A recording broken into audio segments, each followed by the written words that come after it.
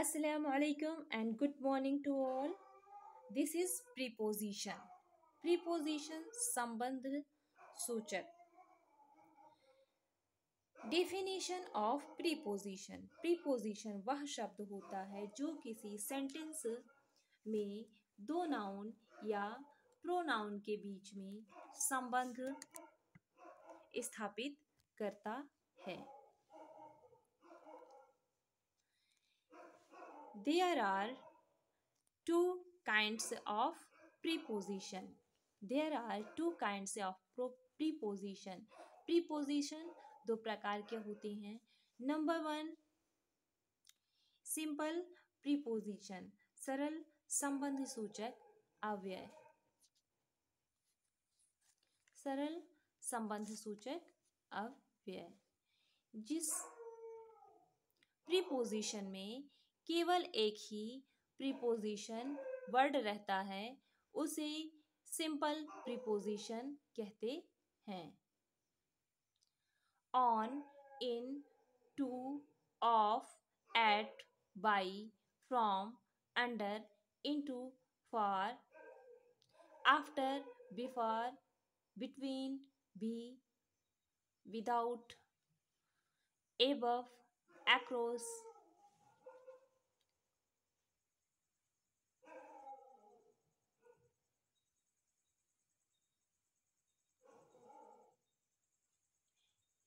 arguments since throughout during till until toward up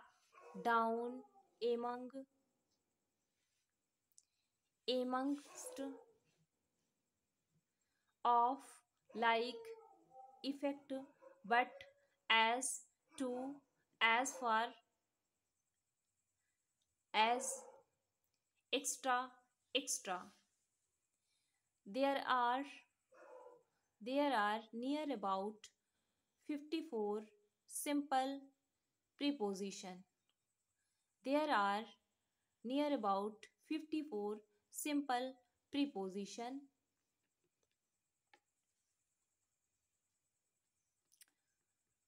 Preposition near about 54 simple preposition होते हैं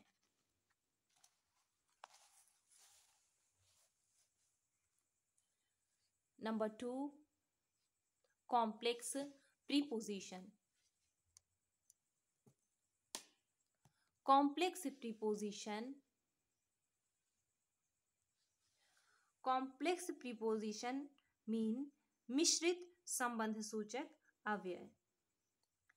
जिस sentence जिस sentence में एक से अधिक प्रीपोजिशन शब्द रहे तो उसे कॉम्प्लेक्स प्रीपोजिशन कहते हैं question how many kinds of complex preposition answer there are five kinds of complex there are five Kinds of complex preposition. Number 1, verbal preposition. Number 2,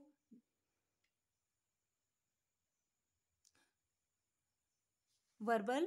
preposition, noun preposition. Number 3, adjective preposition. Number 4, adverb preposition. Number 5, noun plus of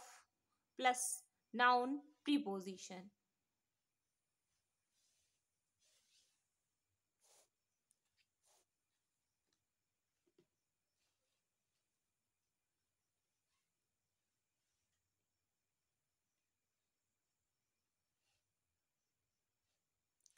in and on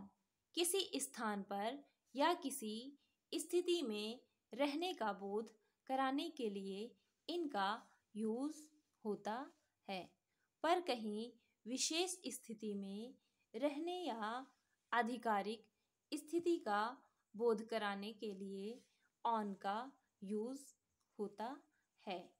for example he is in the room he is on the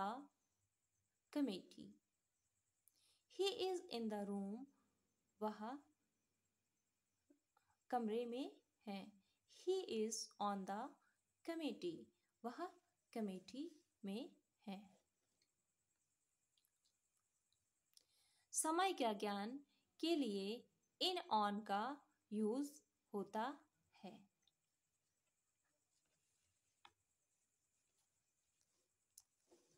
this is complex preposition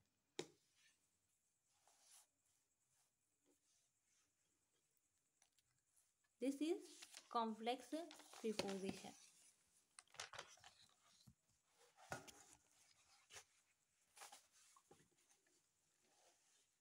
For example, he is in he is in time. He is on time. he is in time and he is on time in time का अर्थ